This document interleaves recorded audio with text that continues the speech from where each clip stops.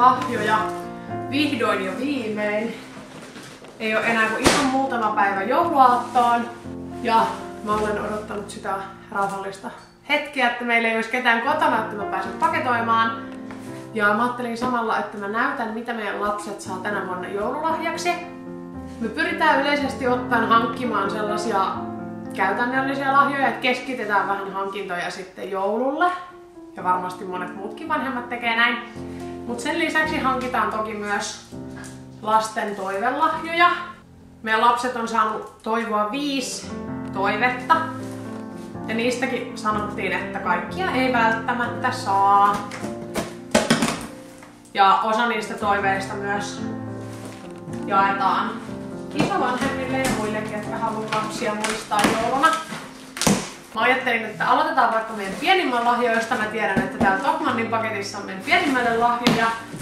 Ja tää on itse asiassa ainut lahjahankinta, mistä mä en ihan tarkalleen tiedä, mitä täällä on, koska mies on tilannut nää.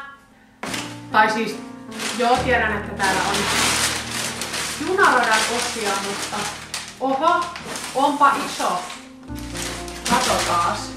Eli täältä löytyi tällainen setti junaradan osia. Täällä on tällainen pelastusajoneuvosetti. Ja sitten on joku tällainen toinen ajoneuvosetti. Ja sitten on vielä kaksi jotain muuta. En tiedä kummalle nämä nyt sitten on enemmän miehelle vai meidän pienimmälle. Mutta nämä lähtee pienimmälle siis nyt pakettiin. Mä rakastan paketoida lahjoja. Etenkin jos sen saa tehdä tällä rauhassa, että ei tarvi sitten paniikissa viimeisenä yönä paketoida. Meidän pienin on nyt tosiaan kaksivuotias, eli ei sikäli vielä varsinaisesti osaa itse toivoa lahjoja, niin hänelle me yritettiin hankkia sitten varsinkin tällaisia ajattomia lahjoja, et ei mitään sellaista turhaa krääsälelua, vaan tällaisia, mitkä oikeasti kestää, kestää aikaa ja tulee varmasti käyttöön. Koska mä oon huomannut, että mitä isommaksi lapset kasvaa, niin sitä enemmän he toivoo niitä sellaisia joka joulun hittileluja, mitkä ei nyt sitten välttämättä ole enää niin hittejä sitten vähän ajan päästä. Mut muistan kyllä omasta lapsuudesta, että nehän ne niitä kaikista parhaimpia lahjoja oli.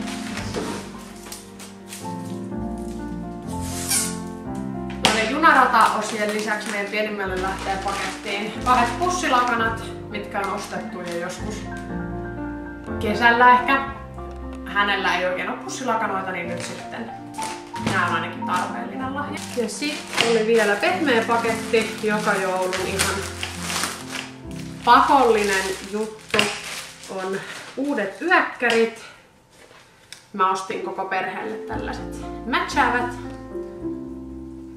Voidaan sitten samistella jouluna. Tää lähtee vielä meidän pienimmälle pakettiin. Lapsille joulussa varmasti tärkeintä on tietysti se, että saadaan viettää kiireetöntä aikaa yhdessä. Tänä vuonna tietysti vielä näkyy ihan eri tavalla se, kun esikoinen on jo Eskarissa ja sieltä on oikea joululoma. Sekä sitten he tietysti myös ottaa lahjoja ihan hirveästi, mikä on tosi ymmärrettävää, onhan he vielä sen verran pieniä. Meille tulee jouluaattona joulupukki, mutta me ollaan tuota, linjattu tämä asia niin, että joulupukki ei ole joku sellainen mystinen hahmo, jolta voi toivoa ihan mitä vaan ja joka tekee ne lahjat itse ja että kaiken voi saada, vaan meillä tehdään niin, että vanhemmat ja muut läheiset aikuiset ostaa lahjat ja joulupukki sitten tuo ne. Sitten meidän keskimmäisen lahjat. Hän saa ensinnäkin uudet sukset ja sauvat. Mä en vaan vielä ihan tiedä, miten mä nää paketoin, mutta se varmaan selviää kohta. Sekä sitten itse asiassa avataan toi sitten meidän keskimmäiselle on nukenkantoreppu. Hän on kova leikkimän nukkeleikkejä, niin tällainen tulan.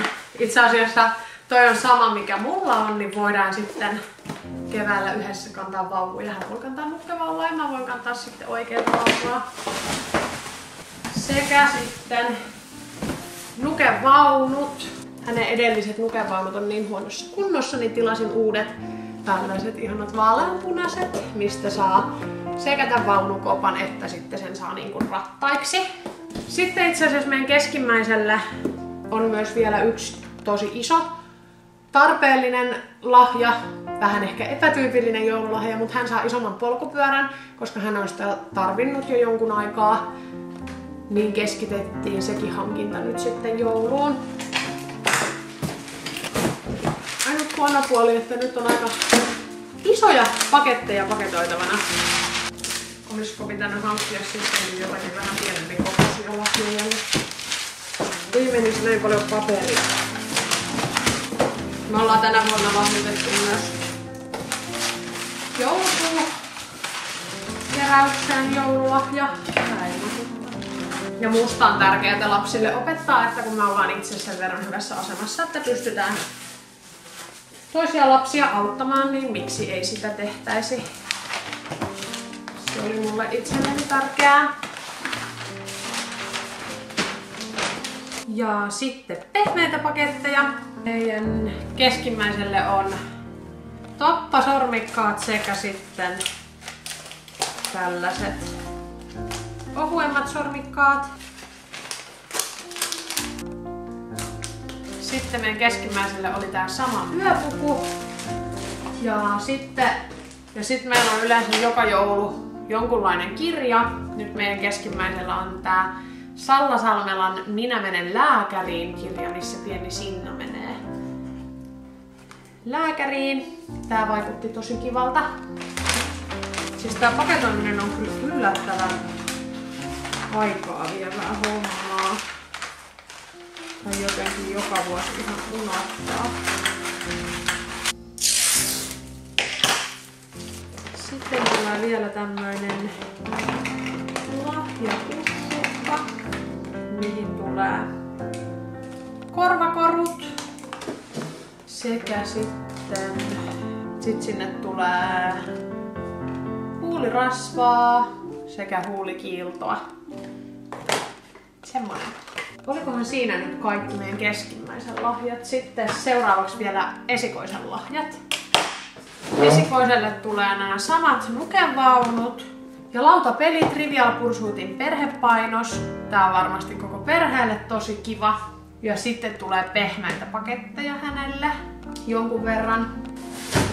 Paketot. Esikoiselle oli kirjaksi Lumikki ja seitsemän kääpiötä. Etenkin meidän esikoisen joulun hartain lahjatoive oli limakone. Mä ensin ajattelin, että sellaista ei kyllä meille tule.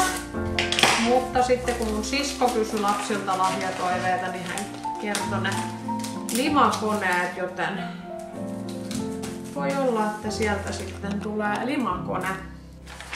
Sitten myös esikoiselle oli sormikkaat, tappasormikkaat tälle ohkaisemmat. Hän on toivonut koko syksyn ja talven, että hän saisi toppasormikkaat, joten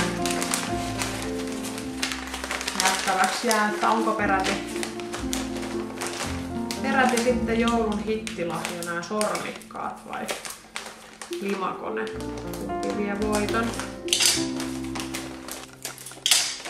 Lisäksi hän toivoi sellaista ruiskumaalattavaa pehmokissaa vai koiraa. En nyt muista kumpi se oli se lahjatoive kerrottiin eteenpäin sitten isovanhemmille ja toivon mukaan hän sen saa, koska hän on toivonut sitä niin hartaudella. Meillä alkaa esikoisella tänään Eskarissa joululoma. Katsotaan mitä kivaa puuhaa keksitään joululomalle. Ainakin tietysti vietetään joulut ja uudet vuodet. Ja sitten me ollaan menossa itse asiassa Helsinkiin yhteen sellaiseen ihanaan lasten tapahtumaan, mistä mä tiedän, että lapset innostuu. Mä en ole heille vielä kertonut. Tää on ihan yllätys. Saavat sitten iloisen yllätyksen. Sitten esikoiselle oli myös tää yöpuku. Meidän lapset alkaa olla vähän jo sen ikäisiä, että mä mietin ensin, että voinko mä tällaista videoa tehdä. Missä mä näytän heidän joululahjat, mutta sitten mä tulin siihen lopputulokseen, että mä julkaisen tän niin myöhään, aatonaattona vasta sitten, niin minimoidaan riskit, että he sais jotain kautta tietää sitten etukäteen. Tää vie yllättävän kauan aikaa tää paketointi. Toki meillä myös on aika paljon näitä lahjoja, tiedostan sen itsekin, mutta jokainen perhe voi onneksi tehdä omat linjauksensa lahjamäärien suhteen.